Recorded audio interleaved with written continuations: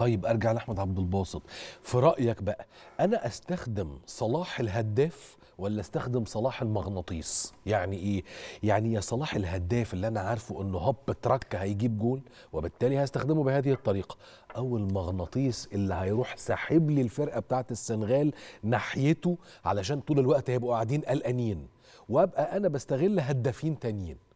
طيب هو ال- ال- للإجابة على السؤال في كام حاجة لازم نتكلم عليها. أولها إنه آه، الربع ساعة الأولى دايما يا أستاذ يوسف في أي مباراة دي اللي تقدر تخطف فيها وده اللي عملناه هنا. في عرف كرة القدم إنه أول ربع ساعة بيسموها مرحلة جس النبض للفرقتين. اللي بيحافظ كويس ويعرف يخطف بيسرق المباراة. وأحسن وقت تجيب فيه هدف تاني اللي هو بعد ما خصمك بيجيب هدف. أو يجي فيك الهدف التاني. ليه بقى؟ لأن أنت يا إما مش في كامل تركيزك فبيجي فيك جول تاني يا إما الفرقة التانية فرحانة ونشوة الهدف تقدر تجيب فيها جول. ده إحنا مختلفين عن كابتن حشيش.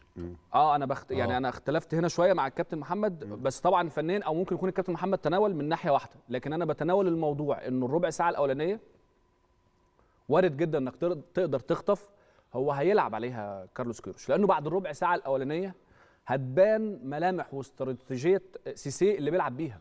لأن إحنا برضو ما نفكرش من اتجاه واحد. في واحد تاني مقسم المباراه زي ما الكابتن محمد قال قاعد قصادنا. هم بيقروا بعض بعد ربع ساعة.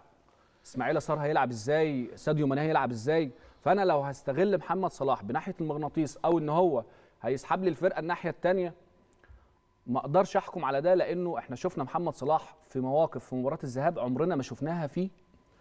في ليفربول أو في مصر. صلاح طلع كورتين واحدة من على ال 18 وواحده تانية من قلب ال 18 الماتش اللي فات. فإذا صلاح ده صلاح كان شغال مغناطيس من داخل منطقة الجزاء بيطلع كرات من عندنا. لأنه أكتر واحد صلاح عارف قوة المنتخب السنغالي ومفاتيح اللعب الكتير اللي عنده. فعشان كده كان صلاح بيعمل أدوار مضاعفة. في كرة ساديو ماني خدها وجري بيها من عند ال الملعب. 18 وصل ال 18 بتاعتنا. لو شفنا لو الزملاء جابوا صورة هنشوف إنه اللي بيجري جنب ساديو ماني هو محمد صلاح. محمد صلاح آه. قاطع من ال 18 على ال 18 لأن هو أكتر واحد عارف ناحية الشمال ماني بتاعت أكتر بالظبط أكتر واحد عارف ساديو وفي ساديو ماني كمان بيبص لقى جنب على يمينه لقى جنبه محمد صلاح. فده بيزود ال power وده بيزود السرعة. لأنه ماني بطبيعة الحال برضه هو أكتر واحد في فرقة السنغال عارف صلاح. بالظبط. وفي نفس الوقت صلاح ما كانش حد ممكن يلحق إلا هو لأن هو السرعات جامدة آه. حتى الله. صلاح في جريته خلى لعيب يفتح لساديو ماني. كان ممكن الاثنين ياخدوا اتجاهات معينة في الهجمة المرتدة تحسم لكن وجود صلاح بسرعته لو لعيب بطيء شوية كان ممكن يدي حل لساديو ماني يطلع ناحية الجنب شوية ويقدر يسدد. صحيح. لكن هو جرية صلاح معاه على نفس الاتجاه زنقت شوية أو خنقت على ساديو ماني. فاللي أنا أقصده من من الكلام أو ال ال الناتج يعني إنه كروش مدرب ذكي هو هيلعب على الخطفه بكره لأنه من رابع المستحيلات إنه يفتح الملعب قدام أليو سيسيه ومن رابع المستحيلات إنه أليو سيسيه يفتح الملعب قدام كروش. مصطفى محمد لما كنا بنشوفه والثلاثه اللي عندنا محمد صلاح لما كان بيتناوب مع مصطفى محمد في الضغط على لعيبة المنتخب السنغالي كنا بنضغط من نص الملعب علشان نجبرهم كل بالي إنه يلعب الكرة العالية. فكان بيعمل ده الشوط الأول كله. كنا بنقطع الكورة وبنرد وبنبني هجمات بعض الأوقات وده اللي جه منه الهدف اللي السوليه عملها وأحرزنا هدف صلاح. استراتيجية المباراة بكرة مش هنقدر نحكم عليها غير بعد أول ربع ساعة وحسب حالة اللعيبة ودي اللي اتكلم عليها الكابتن محمد في أول مباراة. حالة اللعيبة سواء السنغال أو سواء مصر في يوم المباراة بتفرق جدا. لعيب بيبقى متألق لعيب ما بيبقاش فايق لأن إحنا وبتبان زي ما أحمد قال بعد ربع ساعة بتبان هي هذه بتحس إن أنت راكب على الفرقة الثانية ولا الفرقة الثانية بلغة الكورة يعني. بالظبط ف... بس أنا عايز أقول حاجة أحمد أنا يعني آه في تفكير في دماغي طبعا هو مش هيتعمل يعني كروش طبعا بيلعب أنت عارف لما يغير لا, لا تكتيك ولا لعيبة ولا حاجة. أنا كان نفسي صلاح يلعب قدام في حتة راس الحربة بكرة. ويريح مصطفى ويلعب بتريزيجيه مصطفى ومرموش يلعب مثلا آه، أو زيزو, أو زيزو. ليه بقى؟ أنت عندك صلاح اما بيروح ناحية اليمين بتاعته عارف اللعب على الخط بيبقى صعب قوي آه هو بيجيدها وكل حاجة بس تقدر تمسكه كويس قوي ال back left معاه وتقرب المسافه وم- ومحدد إقامته في حتة. آه طبعا. بتقدر. إنما نص. الملعب بتديله راحة قدام إن هو يمين وشمال.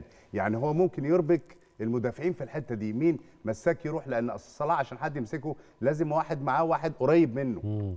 فدي هتعمل خلخلة بالنسبة للاثنين المساكين. وفي نفس الوقت انت عندك سرعات بتاعت زيزو لو لعب أو تريزيجيه ومرموش أو يعني ايا كان حد فيهم. برضه انت محتاجها لأن انت هيبقى عندك هيبقى عندك مساحات. لو لو السنغال بمرور الوقت لازم تهاجم وتضغط وزي ما بقول لك الباكين وكده. فهتلاقي مساحات ممكن الاتجاهات تروح على صلاح تتلعب لزيزو يروح أو العكس مع آه، مرموش أو آه، تريزيجيه.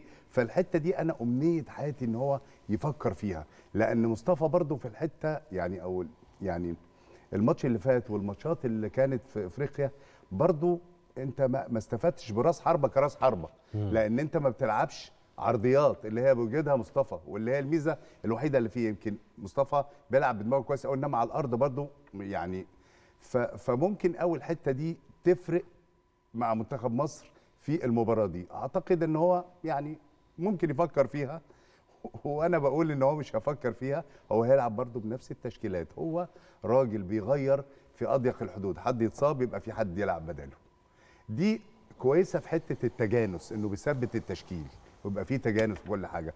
بس برضه لكل مقام مقال يعني لكل وضع وكل نتيجة وانت عايز إيه من المباراة وانت هتبدأ إزاي وانت محتاج إيه وبعد ربع ساعة وبعد نص ساعة يمكن يبتدي كده ويرجع مثلا الشوط الثاني يبتدي يغير يعني. طيب يمكن تعليق أخير من زميلنا صديقنا أحمد عبد الباسط على مباراة بكرة. توقع نتيجة؟ والله أتوقع أنا متفائل إن إحنا هنخطف هدف. هدف يربك حسابات السنغال تماما لأنه هدف خلاص هو محتاج يجيب ثلاث أهداف علشان يكسب. 2 1 أنا أصعد.